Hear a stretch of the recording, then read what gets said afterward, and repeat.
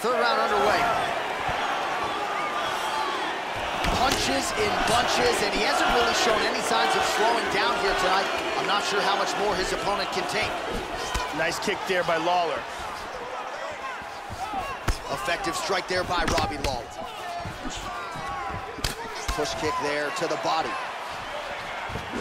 He's mixing things up really well, too, from the hands to the kicks to switching stances.